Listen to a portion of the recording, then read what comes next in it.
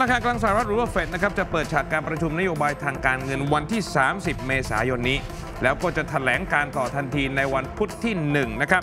โดยล่าสุดครับ GDP ไตรมาสแรกของสหรัฐนั้นขยายตัวได้ต่ำกว่าคาดการไว้ คาดว่าเศรษฐกิจสหรัฐนั้นอาจจะเข้าสู่สภาวะ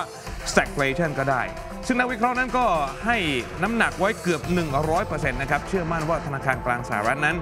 อาจจะคงอัตราดอกเบี้ยไว้ที่ระดับประมาณ 5.25 ถึง 5.5%ในขณะที่ทั้งปีนี้เนี่ยอาจจะปรับลดน้อยกว่าที่คาดการ หรืออาจจะไม่ปรับลดอัตราดอกเบี้ยเลยก็เป็นไปได้ครับนักลงทุนกำลังจับตาถ้อยแถลงของท่านประธานธนาคารกลางสหรัฐนะครับ ท่านเจอโรมพาวเวล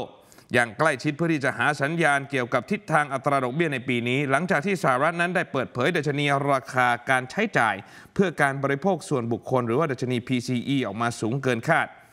ผลิตภัณฑ์มวลรวมภายในประเทศ GDP นั้นขยายตัวต่ำกว่าที่คาดการไว้ในไตรมาสแรกนะครับ ส่งผลให้บรรดานักลงทุนวิตกกังวล ว่าสหรัฐกำลังเผชิญหน้ากับสภาวะเศรษฐกิจชะลอตัว ท่ามกลางอัตราเงินเฟ้อสูงขึ้นหรือว่า stagflation ครับ ทางสำนักข่าวบูมเบิร์กได้รายงานว่าตัวเลขเงินเฟ้อที่สูงเกินคาดส่งผลให้นักลงทุนนั้นคาดการว่าเฟดอาจจะปรับลดอัตราดอกเบี้ยลง เพียงแค่ 1-2 ครั้ง ตั้งแต่เดือนพฤศจิกายน แต่ก็มีความกังวลนะครับว่า ธนาคารกลางสหรัฐนั้นอาจจะไม่ปรับลดอัตราดอกเบี้ยเลยในปีนี้ก็เป็นไปได้ ทางด้านนักวิเคราะห์จากบลูมเบิร์กคาดการณ์ว่าท่านเจอโรมพาวเวลนั้นน่าจะส่งสัญญาณตรึงอัตราดอกเบี้ยที่ระดับสูงต่อไป โดยมีแนวโน้มส่งสัญญาณถึงการปรับขึ้นอัตราดอกเบี้ยเหมือนก่อนหน้านี้ เมื่อวันที่ 16 เมษายนที่ผ่านมาครับ ท่านเจอโรมพาวเวลได้กล่าวสุนทรพจน์ในงานเสวนาในกรุงวอชิงตัน ว่าจากข้อมูลไม่นานมานี้ สะท้อนเห็นว่าเศรษฐกิจและตลาดแรงงานของสหรัฐนั้นยังคงขยายตัวอย่างแข็งแกร่งตั้งแต่ต้นปี อัตราเงินเฟ้อนั้นยังไม่ขยับในการปรับตัวลงสู่เป้าหมายของเราที่ระดับกรอบ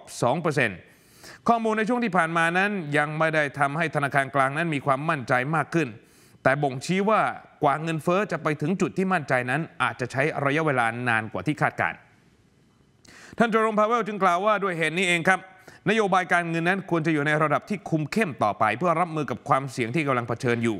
โดยมองว่าธนาคารกลางสหรัฐนั้น สามารถคงนโยบายคุมเข้มด้านการเงิน เอาไว้ได้นานเท่าที่จำเป็น จนกว่าอัตราเงินเฟ้อนั้นจะส่งสัญญาณให้เห็นว่ามีความก้าวหน้ามากขึ้น และกว่าที่เจ้าหน้าที่เฟดนั้นจะมีความเชื่อมั่นว่าเงินเฟ้อจะปรับตัวลงสู่เป้าหมายที่ระดับ 2%ก่อนจะเริ่มปรับลดอัตราดอกเบี้ยครับ